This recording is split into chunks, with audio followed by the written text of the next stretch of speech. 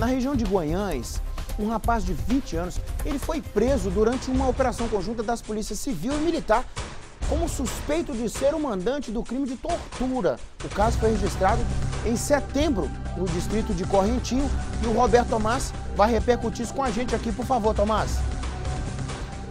Manicomedes, esse jovem de 20 anos, ele foi preso ontem lá na cidade de Guanhães. Segundo informações, ele tinha contratado um capanga para poder receber uma dívida de drogas.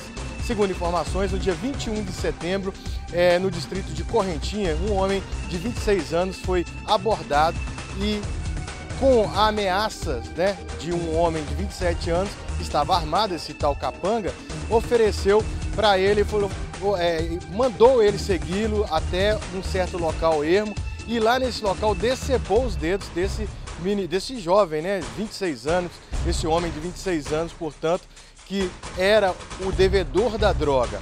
Olha só, um homem de 27 anos contratado por um de 20 que foi preso na segunda-feira.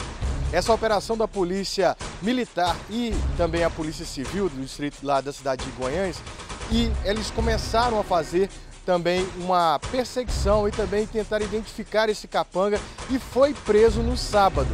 Depois de ele ter sido preso, a polícia recebeu outras informações também do homem que mandou, de um adolescente, na verdade, de 20 anos, que era suspeito de comandar o tráfico de drogas naquela região do distrito de Córrego dos Correntinhos, Nico.